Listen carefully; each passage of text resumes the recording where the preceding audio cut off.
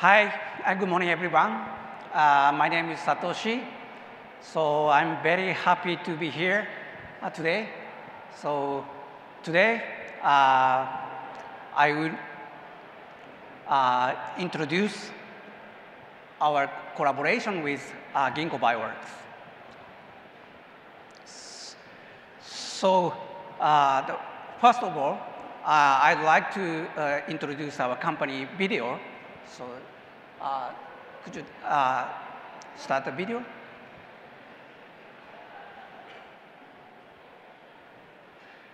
At the turn of the 20th century, factories, mines, and copper smelters were churning out a lot of smoke. Since 1915, Sumitomo Chemical has worked to reduce environmental pollution and increase crop yields by producing fertilizers using the sulfur dioxide released from copper smelters. This technological innovation improved air quality, while our fertilizers boosted crop yields to feed a growing population, helping new agricultural businesses expand around the world. Today, our innovation continues to be driven by our dedication to improving people's health and sustainability across the globe. The world needs companies that value sustainability and whose success is rooted in a responsibility for our shared planet. At Sumitomo Chemical, each business unit works toward that goal.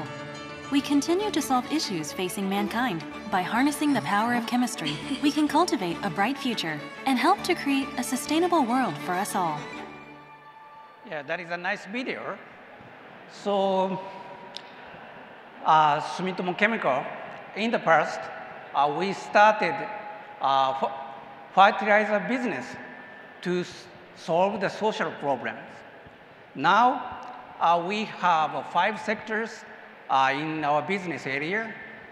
So, there are a lot of uh, social issues existing in our business area. So, how to solve it? It's not so easy. So uh, one solution is uh, uh, to find a good partner. The other one is uh, how, how to get the powerful tool, obtain the powerful tool. So uh, that is a uh, kind of the trend of the, the chemical product produ production. So now the chemical industry is moving toward to the uh, precise fermentation. Precise fermentation become a powerful tool to solve the uh, social issues. So why a Japanese company like me uh, doing such kind of the fermentation? So uh, as you can see, uh, the Japanese in Japan, we have a traditional history of the uh, fermentation industry. So we have a confidence of the control of the microorganism uh, to industrialize. So uh, that's why I started the collaboration with Ginkgo for the uh, precise fermentation to produce a, a chemical product. So there are kind of the three projects uh, here. So one is uh, uh, agriculture plant growth regulator. So, uh, oh no. Yeah, so currently due to the uh, global warming issue, so uh, grape color become worse. So that's why we need the improvement. So using the plant growth regulator, we can improve it. So uh, we started uh, one project. The other one is uh, uh, for animal welfare.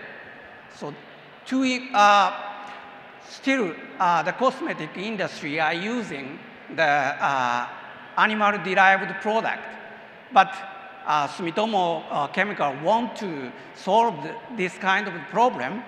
So that's why, so uh, with Ginkgo, we started the development. And the last one is uh, basic core chemicals like a phenol or something for engineering plastic or something. So that is a, current three big project with uh, Ginkgo Bioworks. So uh, here is a three Daruma. So in each project, uh, we have a Daruma. So uh, Daruma, uh, in Japanese custom, when we start, when we kick off the project, we fill in the one eyes black. And uh, when we success the project, so the, uh, we can get two eyes in the Daruma. So now already uh, we kick off the two projects, so the soon uh, we can get the two, both eyes in Daruma, and uh, immediately we can start the uh, phenol project. So the uh, Daruma has one eye. So finally, this is our uh, final image. So, so much Daruma with both eyes uh, we can get with Ginkgo. Thank you.